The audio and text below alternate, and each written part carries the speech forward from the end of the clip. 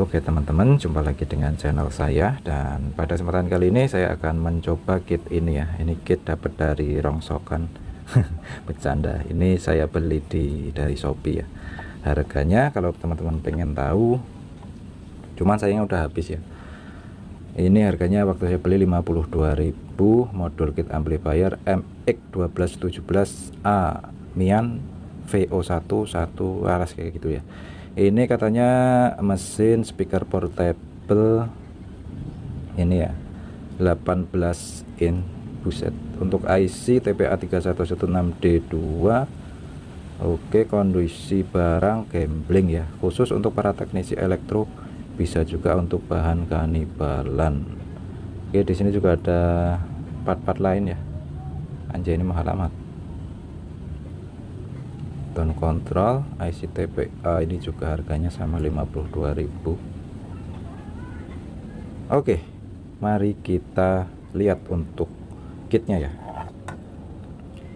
Oke di sini kalau kita lihat ada komponen yang hilang ya elko. Tapi saya rasa ini enggak masalah karena untuk elko gede ya seperti ini biasanya cuman sebagai penstabil tegangan ya. Jadi kalaupun dicopot dia masih tetap bisa bunyi.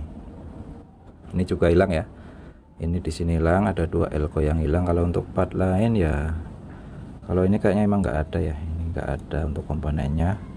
Nggak ada bekas solderan masalahnya. Jadi emang sepertinya emang seperti ini ya dari awalnya. Ini untuk mic bisa pakai dua mic ya.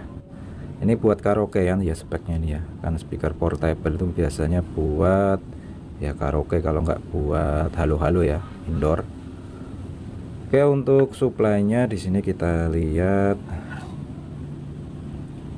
15 volt plus dan ground. Oke input dari input supply dari sini ya. Pakai soket ya. Oke soket dan ini ada untuk led switch. Dan ini untuk power switchnya udah saya jumper harusnya dipakai saklar ya. Dan ini ada baterai uh, macam-macam lah. Ini pokoknya bisa pakai baterai 12 volt ya. Ini untuk speaker kiri kanan. Dan ini untuk IC yang ada di sini. Ini IC TPA 3116D2 sudah kemarin sudah saya buka. Dan ini ada banyak ya ini LED. LED macam-macam ini entah buat apa ya. Ini buat mic mic in. Ada soketnya juga kenapa ada mic in di sini? Kan udah ada di sini ya. Wes sembuh. Pokoknya kita cobain aja lah. Kita cek lagi ya. Loh loh loh kok ada yang copot ya ini ya? Ini. Oh dioda ya. Ini dioda nih copot guys. Ah ini dia nih copot nih harus solder dulu ini. Kok susah ya masuknya ini? Susah juga ini. Tekan bisa nggak?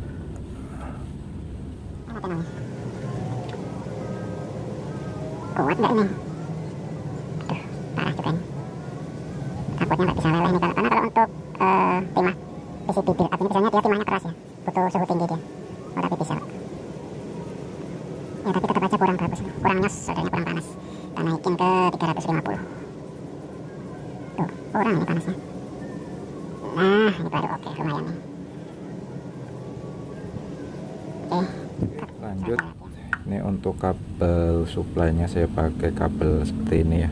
Karena saya kebetulan nggak ada soketnya yang buat itu. Ini nah ini buat plusnya yang di tengah ini plus warna putih dan hitamnya itu ground dan kita lihat di sini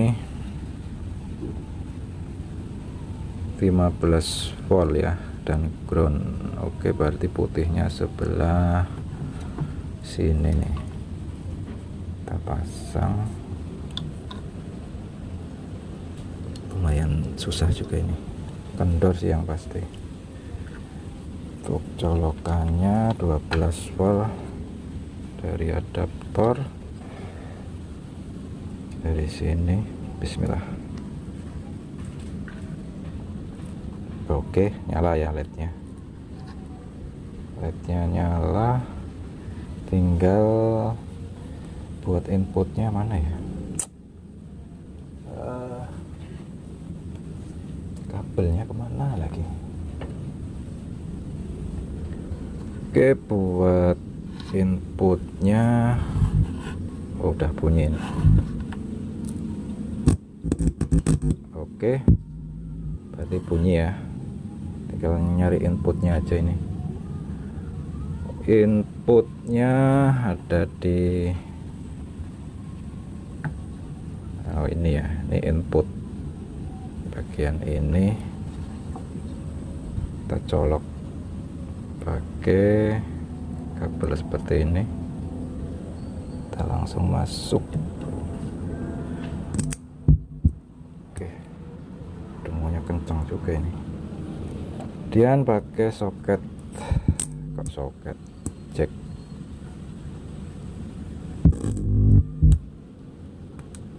uh dengung guys. Kita pakai ini ya kita tes.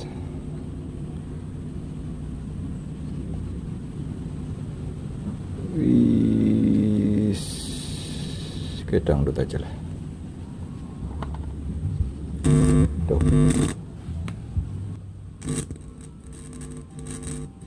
Ini harusnya pakai kenop sih ya biar nggak bunyi dengung gini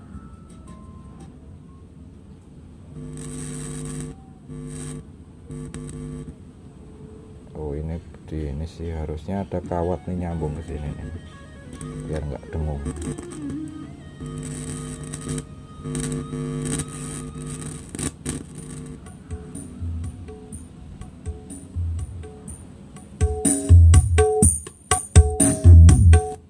loh kok mati ya? Oh oh oh oh, oh. protek kayaknya dia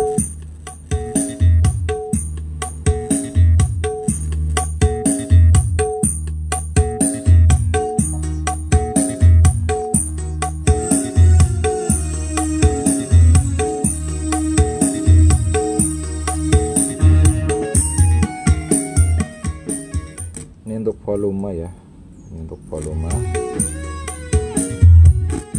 ini untuk bass oh tapi kalau kena bass dia langsung protek. Padahal cuma 12 volt ya itu.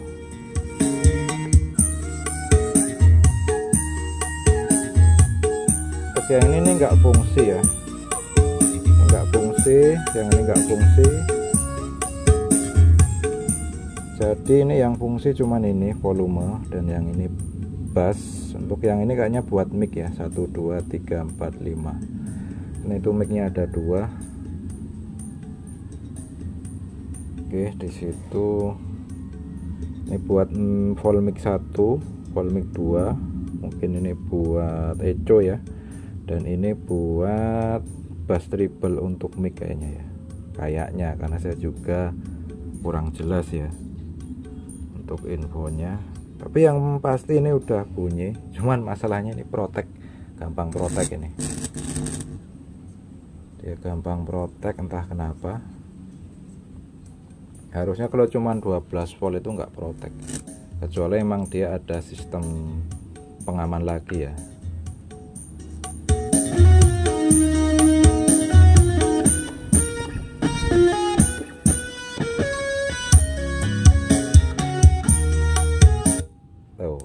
protek dia. Hmm, perlu dioprek kayaknya.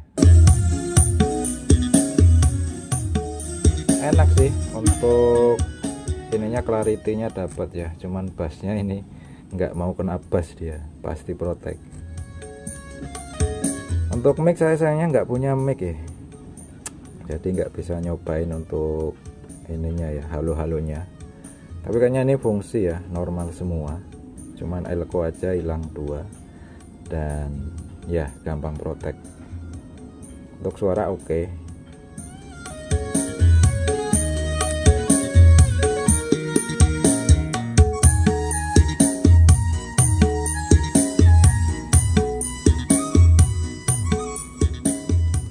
kualitas build up.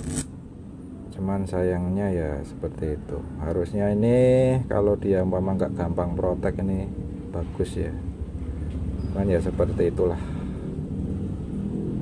Pokoknya eh, saya tes nyala cuman ya kayaknya kurang gimana gitu ya. Kalau gampang protek ya. Tapi ya sudahlah. Kan cuma 52.000 udah dapet segala macam ini di sini ya. Saya rasa udah worth it lah ya. Walaupun ya seperti itu.